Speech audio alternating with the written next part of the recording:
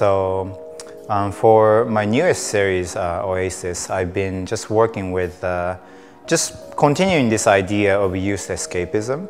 And I'm still referencing a lot of old masters, um, a lot of Bouguereau, a lot of Rembrandt, sort of I, I, really sort of enjoyed looking at Bouguereau's um, just a lot of naked people just walking in the um, forest and just flying into the skies. And I thought there was something really comical about it, as well as a um, kind of a weird, um, dirty fantasy kind of thing. And I, I kind of see like a relationship between like today's uh, youth going into like Burning Man and there's this whole like culture today of just you know escaping from reality and going into wild to just be free in a way so that's kind of what i wanted to um, capture here and just uh, this quality where they're kind of caught doing that so it's like when you're on the laptop looking at some images that you shouldn't be looking at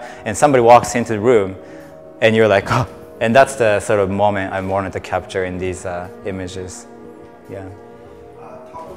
So the models, um, I actually kind of uh, just made it an open call, but I just ended up using models that I really enjoyed painting, especially um, him and her. I really enjoyed painting them just because of their facial features and like they had a sort of interesting features that I wanted to paint. And in terms of palette, I actually had this uh, disco light so I wanted to bring in some of like a weird artificial um, party light to the nature to even create more contrast. So in nature, like, you know, it shouldn't have this kind of colors, but I wanted to kind of uh, just juxtapose some of the artificiality into nature.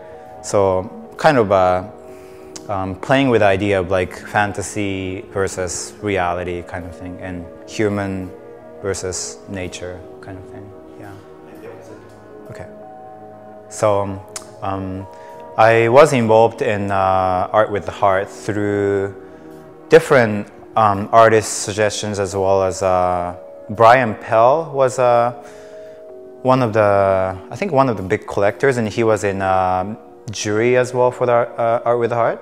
And he came to my MOCCA show to see that large piece and that's where, I, uh, where he found me. and um, yeah, I was really honored to be in like such a sort of, you know, great environment and also people have such positive vibes and just really encouraging, warm attitude towards, you know, artist career and helping each other. And yeah, um, in terms of uh, when, when, when the uh, auction actually happened, I was on the spot and I was just kind of like, you know, taking photos of that image when it went up and I was like, okay, it's a little nervous, but if it stopped at 700, maybe I'm gonna raise my own hand and I'm gonna buy it back. But it kept going up and like there was 10 people raising hands, so I was like, whoa, this is crazy. And I was getting nervous and I was with my friends, so I was like, okay, I don't know like what kind of a reaction I should be making in this kind of situations.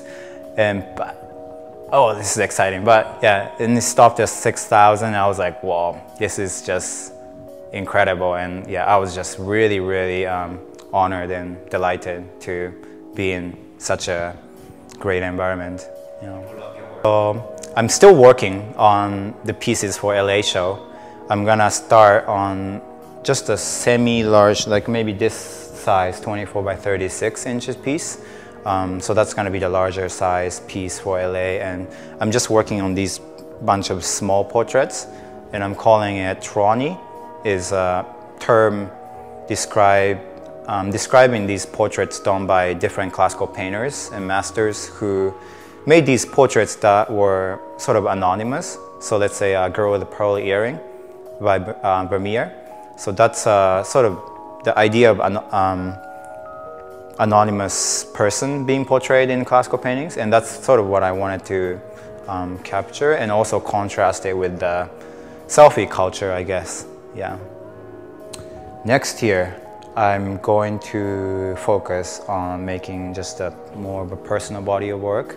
Um, I'm trying to like sort of hold off on booking too many shows and just leaving it open so I feel a little less stressed and really focus on making a good body of work.